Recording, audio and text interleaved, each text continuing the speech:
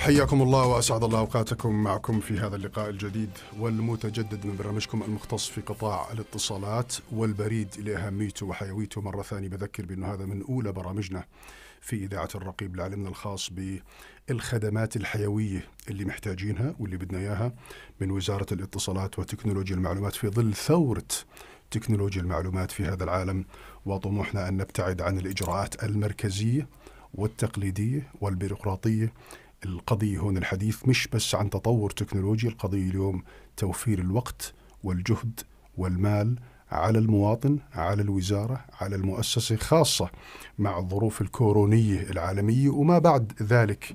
بكل تأكيد اليوم بعض الدول بتوصل لمرحلة مش محتاج أنا كمواطن إني أوصل الوزارة إلا من باب الرفاهية فقط لا غير لأنه كافة الخدمات بتكون إلكترونية وعلى الأخص قضية الدفع. الإلكتروني اللي بكل تأكيد هي اليوم قضية حيوية دائما. الأستاذ فادي مرجاني من وزارة الاتصالات وتكنولوجيا المعلومات اليوم بده يحكي معنا عن موضوع الدفع الإلكتروني بعد ما استضفنا زملائه في قضايا عديدة حكينا فيها عن الموافقات النوعية حكينا عن ضبط الجودة والخدمات المقدمة في قطاع الاتصالات حكينا طبعا عن قضايا حساسة جدا في قضية البريد ورح نستمر في الحديث عنها إن شاء الله أيضا لدورها وأهميتها في مجتمعنا والتخفيف من حدة الإجراءات التقليدية والبيروقراطية. وأبدأ مع أخي فادي مرجاني بعد ما أقول له أهلا وسهلا وصباح الخير. وإن شاء الله بنستقبل مع بعض الضيف الأبيض بحب وحلاوة بدون إشكاليات. ونتمنى إن شاء الله مغادرة ميمونة وطيبة بعد ساعتين من الآن تقريبا لكل الموظفين والطلبة إلى بيوتهم. إن شاء الله يكونوا دائما دفيانين وأنت كمان تكون مدفي حالك دائما إن شاء الله. إن شاء الله يسعد صباحك يسعد صباحك أخي طلعت ويسعد صباح جميع المستمعين. طبعا يعني اليوم جميل إن شاء الله بنستقبل الزائر الأبيض وبننبسط وبنفرح فيه وبكون كمان سالم إن شاء الله على جميع أمتنا العربية والإسلامية. أذكر بدي أبدأ معك من هاي النقطة. 95 96 أقصد سنة ال 95 و 96 كان الموظف الحكومي وعلى الأخص قطاع الأمن. كانت تيجي الشنطة توصل على المقاطعة. أنا أذكر هذيك المرحلة تحديدا. والأخوة طبعا يصطفوا على الدور عشان يقبضوا رواتبهم بشكل نقدي مباشر من إيد لإيد. قبل ما نوصل لمرحلة اليوم نحكي خدمات government to government ولا government to citizen اللي هي خدمات الحكومة للمواطنين. وكان الحديث وقتها حتى عن بطاقة صراف آلي ووجود حتى صراف آلي اليوم أعتقد تجاوزنا ال 700 800 صراف في كل في كل البلد إذا مش أكثر من ذلك. كان حديث إنه هذه قضية بعيدة ومعقول يصير هيك الواحد يعمل عمليات مصرفية لحاله ويدفع لحاله وإلى آخره. فأستذكر معك الواقع اللي كنا عايشين فيه قبل أكثر من 25 سنة من اليوم وكيف كان الدفع تقليدي جدا حتى في البنوك نفسها قبل أو ترف الصرافات الآلية واصطفافنا على الدور أنا وياك مع بداية كل شهر لنقبض رواتبنا ورواتب أسر الشهداء والجرحى والمتقاعدين وخلافهم وكنا نقعد ساعات في بعض الأحيان في البنوك. الحمد لله اليوم على الرغم أنه نطمح نوصل لأفضل من المرحلة اللي إحنا فيها اليوم لكن بذكر جيلنا على الأقل اللي بيوعى هاي ال هاي ال هاي ال هاي الحالة. اليوم انتقلنا بنحكي عن منظومة. ولما نحكي عن منظومة أي خدمات شاملة إلكترونية. أين نحن بهاي اللحظة؟ أخي فادي مرجانة من موضوع الدفع الإلكتروني وشو اللي بنطمح نوصل له خلال الفترة القصيرة القادمة لأنه العالم بكل تأكيد بيركض وبيسعى أنه يطور خدماته الإلكترونية كمنظومة وليس كخدمات تقليدية أو حتى اختيارية إنما كمنظومة. نعم صحيح. يسعد صباحك ويسعد صباح جميع المستمعين. يعني انت زي ما حكيت على موضوع إنه كيف كان اصطفاف بال 95 96 ناخذ الرواتب من خلال الشنطة أو من خلال كانت هي سي تو سي من مواطن لمواطن, لمواطن. نعم. فاليوم إحنا طبعا يعني توجهنا لموضوع الخدمات الإلكترونية هي مش بس مش بس إنه والله تكون خدمة إلكترونية أقدمها الكترونيا واجي أحكي للمواطن تعال يا مواطن ادفع لي في الصندوق اللي موجود في المؤسسة أو روح على صندوق البنك اللي موجود اليوم إحنا حكينا على موضوع تكاملية اليوم إحنا طبعا في حكومة 18 بتوجيهات من دولة رئيس الوزراء الدكتور محمد الشتي وتعليمات من معالي الوزير الدكتور إسحاق سدر تم إقرار قرار تشكيل لجنة وزارية للدفع الإلكتروني. اللجنة الوزارية تشكلت بال 2019 اللجنة الوزارية قاموا بتشكيل لجنة فنية. اللجنة الوزارية طبعا هي كانت وزارة الاتصالات ووزارة المالية وسلطة النقد الفلسطيني والأمان العام مجلس الوزراء. آه، قمنا بعمل إبداء اهتمام إبداء اهتمام عشان إحنا نشوف كيف واقع شركاتنا المحلية ونشوف كيف مدى إمكانية تطبيق هذا الموضوع إنه منظومة دفع إلكتروني. منظومة دفع إلكتروني بجامع بجميع مكوناتها. فعملنا إبداء اهتمام فقمنا في تأهيل شركات عملنا ال request for proposal تقدموا الشركات درسنا العروض. تم ترسيته على ائتلاف من من ثلاث شركات. نعم. شركة الشرق الأوسط لخدمات الدفع MEPS ومدفوعاتكم فلسطين و Experts للحلول التكنولوجية. قمنا بإعداد منظومة الدفع. اليوم إحنا عندنا اليوم واقعنا اليوم عندنا منظومة دفع إلكتروني تتكون من أربع مكونات. أربع المكونات هم عندنا نظام تسجيل دخول موحد رقم واحد. نظام تسجيل دخول موحد إنه لكل الخدمات الحكومية لكل المؤسسات الحكومية لها بوابة واحدة من خلال ال desktop أو من خلال ال mobile application إنها تدخل أنت وتعمل تسجيل دخول. تسجيل دخول من خلال هاي البوابة الموجودة عندك في البيت. بدك تحط بياناتك ما نعم. في شك بتحط أنت بتحط الثلاث رقم هويتك بتحط تاريخ ميلادك بتحط مكان الولاده هو لما تحطهم الثلاث الثلاث parameters هدول آه، أنت مباشر بتضرب النظام بيحكي مع السجل المدني وزاره الداخلية بيجيب البيانات الاسم الرباعي للمواطن وبعدها بتستكمل انت في الإجراءات بتحط بريد الالكتروني بريدك الشخصي أو بريد الرسمي إذا كنت موظف رسمي حاب تستخدم البريد الرسمي تبعك وبتحط رقم التليفون اللي راح تجيك عليه الرسالة. بعد هيك انت بتتوجه لدائرة دوائر إحدى دوائر آه، داخلية الأحوال المدنية أنت بتختارها المكان القريب عليك بتذهب لهذا المكان وبيكون بتحقق تحقق من هويتك إنك أنت الشخص اللي صاحب هذا البروفايل صاحب آه. هذا الملف مم. وبتكون بتوقيع الأوراق اللازمة ويتم عمل إسكان لهذه البيانات حتى هذا كله إلكتروني. هاي كله إلكتروني في, في مكان في مكان عملية التحقق في إحدى مراكز وزارة الداخلية. بعد هيك لما تستكمل العملية بيتم إرسال لك username وال password. username هو رقم هويتك. ال password بكون مبعوث لك password على موبايلك اللي تم تسجيله. وبعد هيك أنت بتدخل على البوابة الإلكترونية. اليوم إحنا اليوم إحنا عندنا نظام تسجيل الدخول الموحد تمام جاهز 100% وحاليا إحنا تم إطلاقه داخل المؤسسات الحكومية حتى نكون بالتسجيل وعمل الفحوصات اللازمة له وإذا في هناك يعني بعض الشغلات التغذية الراجعه حتى. نقوم بتحسينها وتطويرها. اثنين البوابة الإلكترونية جاهزة 100% موجود عليها ال profile بيصير عليها ال profile للمواطن حاليا اليوم لنا للموظفين داخليا زي ما حكيت وفيها عليها الخدمات اللي تقدم للمواطن تشمل كم خدمة يا أستاذ فادي؟ إحنا حاليا إحنا عندنا 12 خدمة. عندنا آه سبع خدمات مدفوعة وعندنا آه باقي الخدمات استعلامية. عندنا الخدمات المدفوعة آه، إحنا ركزنا على موضوع تجديد رخصة السياقة من وزارة النقل والمواصلات. يعني إحنا بعد ما تطلع المنظومة إن شاء الله أنت بإمكانك بإمكانك تدخل هاي المنظومة تعبي البيانات. بدون ما تذهب لوزارة نقل المواصلات أو لغيره وبتعبي البيانات اللازمة عشان تصدق عشان تجدد رخصتك وبعد ذلك بيتم الدفع من خلال وسائل الدفع. هلأ آه عندنا اليوم البورتال جاهز عليه الخدمات 12 خدمة موجودين. ال 12 خدمة بيحكوا مع بعض من آه، طبعا إحنا اليوم عندنا إحنا الوزارات طبعا كل القواعد البيانات موجودة في الوزارات. يعني اليوم إحنا عندنا رح نقدم خدمات لخمس وزارات. الوزارات اللي رح نقدم الخدمات اللي هي وزارة الداخلية آه، سلطة الأراضي آه، وزارة الصحة ووزاره المالية. هدول الخدمات اللي راح نقدمهم في المرحلة الحالية. بعد هيك إحنا كمان عندنا ال mobile application ال mobile application خلال أيام إن شاء الله سيتم رفعه. سيتم رفعه على ال iOS وعلى ال Android بس زي ما حكينا بفترة تجريبية للموظفين الحكومة واليوم إحنا عندنا المكون الرابع والأخير اللي هو بوابة الدفع الإلكتروني. بوابة الدفع الإلكتروني حكومية.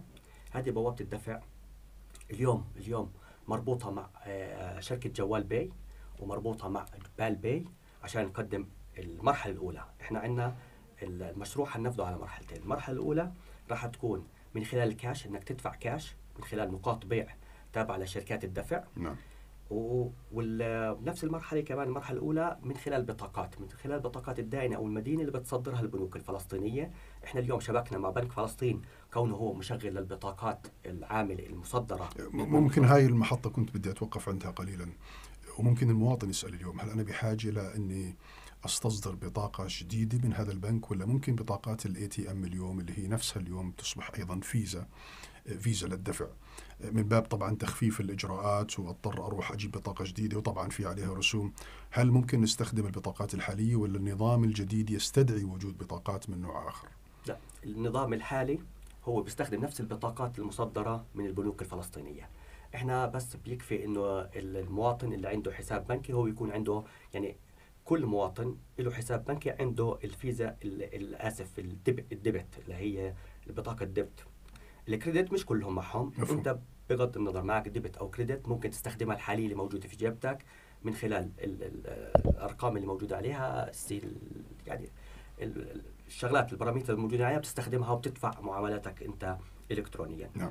إحنا اليوم عندنا بوابه الدفع مربوطة مع شركات مع شركتين من شركات الدفع ومربوطة مع بنك فلسطين كونه هو المشغل لهي البطاقات. عشان إحنا أنت بتقدر تدفع يعني إيش كاش يعني كاش مش إنك تروح أنت على البنك تدفع في البنك في صندوق البنك أو تروح على الوزارة نفسها تدفع في صندوق اللي موجود في الوزارة. كاش إنه ممكن في السوبر ماركت اللي موجود تحت بيتك.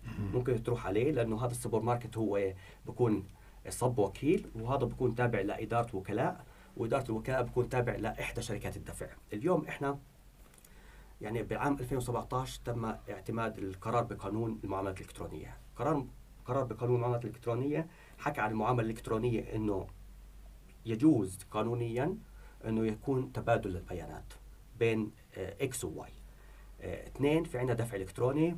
آه، كلف القانون كلف سلطة النقد أن تقوم بعمل التراخيص وتنظيم لشركات دفع إلكتروني حتى تصدر وسائل دفع وأدوات دفع.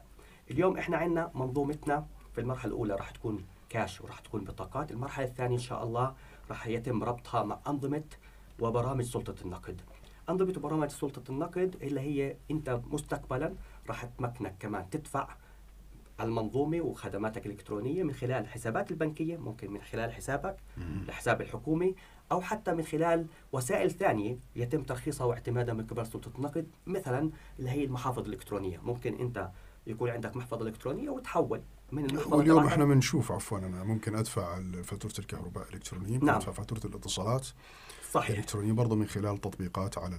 الأجهزة بس بدي بدي أرجع خطوة للخلف نعم. في موضوع التشريعات القانون عندنا 2017 والخدمات التكنولوجية اليوم الإلكترونية والدفع الإلكتروني منظومة تحدث في كل دقيقة بجوز في العالم تمام؟ هل تقديرك التشريع اليوم وإن كان إحنا مش ما بدنا نتوغل في قلب التشريع هذا مش اختصاصنا اليوم ينسجم مع الطموح اللي بدنا اليوم لنرفع معدل الخدمات من تجريبية 12 13 خدمة اليوم لنوصل للألف بل لل 1400 خدمة اللي بتقدمها الحكومة تقريبا ولو بنسب متفاوتة خلال العام الحالي.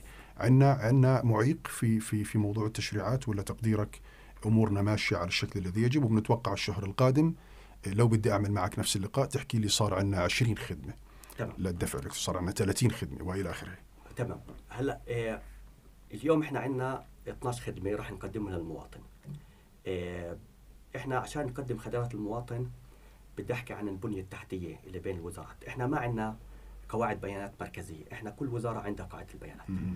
إحنا شو عملنا؟ جبنا حكينا في شيء اسمه ناقل بيانات وطني اللي هو ال data exchange layer إحنا من خلال ال X-Road هذا ال X-Road هو يقوم ربط الوزارات مع بعضها البعض.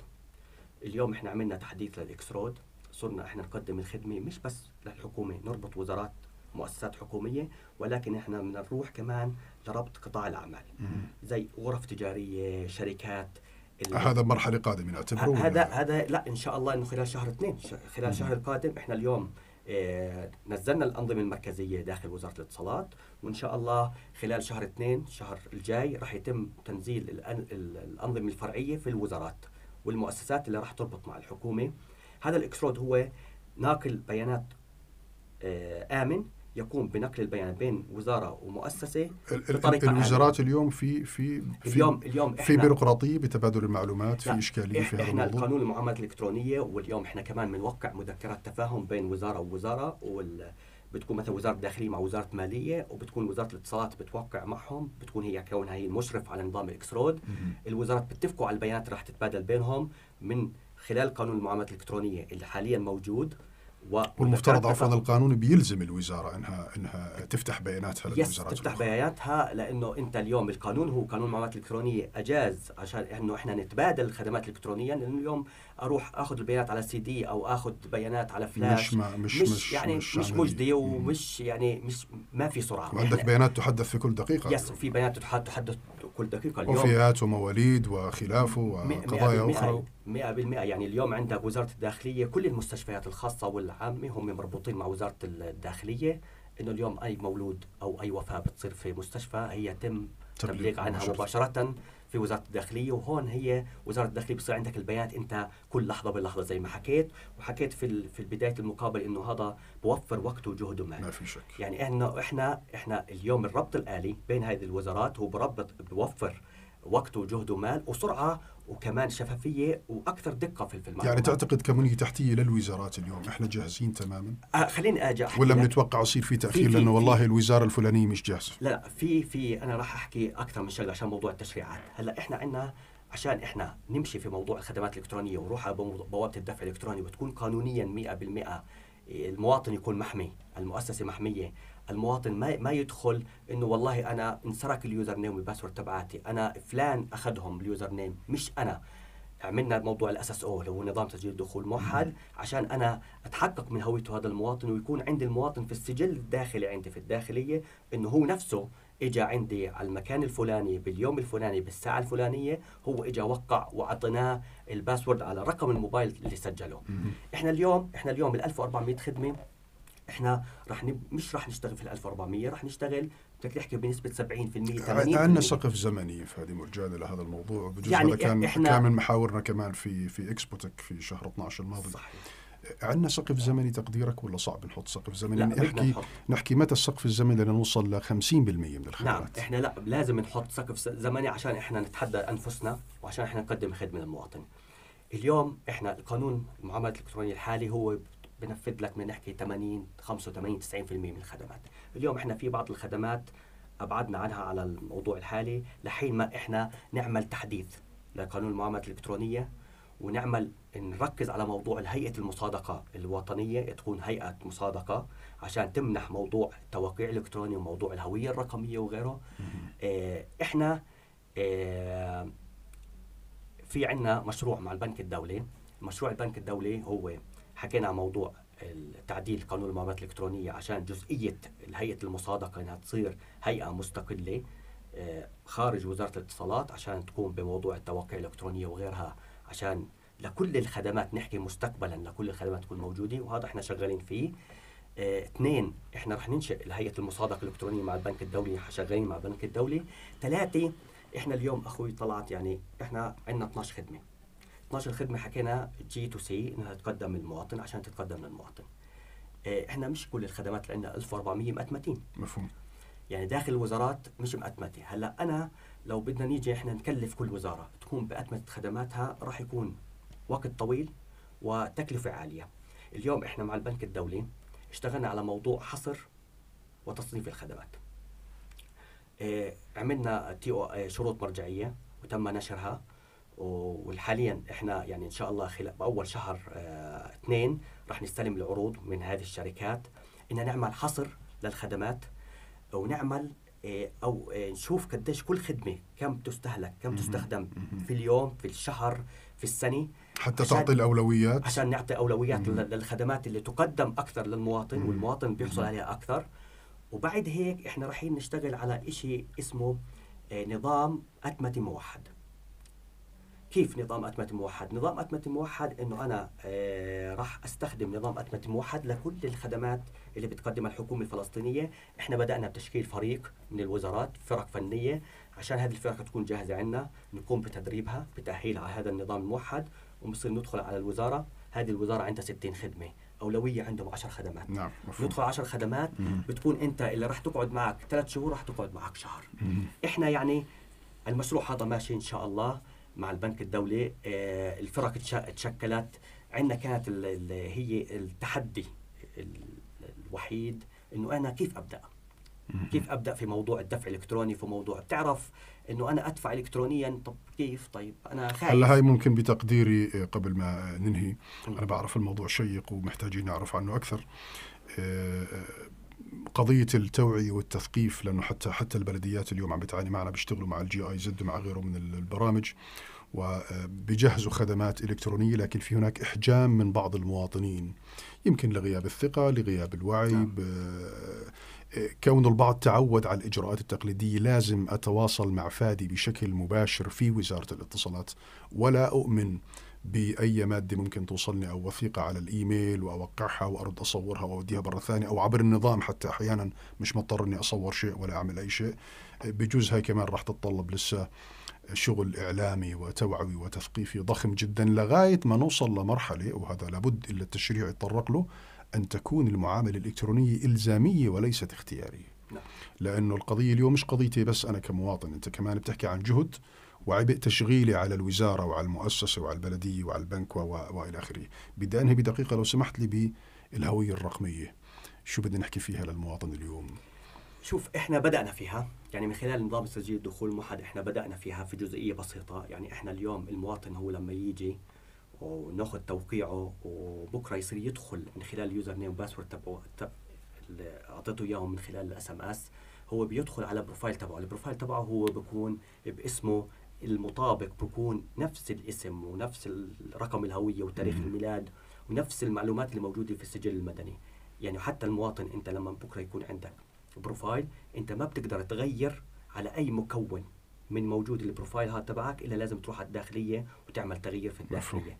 فهذه هي إحنا بدأنا في في الهوية الرقمية من الباب ال SSO ولكن إحنا مستكملين في هذا الموضوع على موضوع نروح إحنا على المصادقة الإلكترونية حتى يكون عندنا كمان توقيع إلكتروني ويكون عندي بص بصمة إلكترونية. وحتى يكون عندنا بطاقة بطاقة ذكية موحدة لكل الخدمات. إن شاء الله بنوصل لهي المرحلة في الفترة القادمة وإن شاء الله كمان بيكون لنا ولو لقاء لدقائق في كل شهر آه، ممكن مرة بنرتبه مع الأخوة في وزارة الاتصالات لنعرف وين عم نتقدم وين في معيقات وين ممكن نوصل خلال المرحلة القادمة إن شاء الله. بدي أشكرك لوجودك معنا اليوم. ولهالمعلومات اللي إن شاء الله تكون مبشرة بالخير. لمستقبل أفضل لوقتنا لجهدنا لتواصلنا لعلاقتنا مع بعض. وبالتالي بكل تأكيد هذا في خدمة عامة لنا جميعا بتحدي الوقت وتحدي الزمن وتحدي الإجراءات وتحدينا التكنولوجي كشعب مثقف إن شاء الله دائما تكنولوجيا وفي كل المجالات بعونه تعالى. شكرا فادي مرجانة. كنت معنا اليوم في هذا اللقاء المقتضب عن الدفع الإلكتروني أو منظومة الدفع الإلكتروني. أشكرك. الله يخليك. شكرا لكم شكرا جزيلا أشكر كل اللي تابعونا ولقاءنا معكم يتجدد بعونه تعالى الأسبوع القادم. السلام عليكم ورحمة الله وبركاته.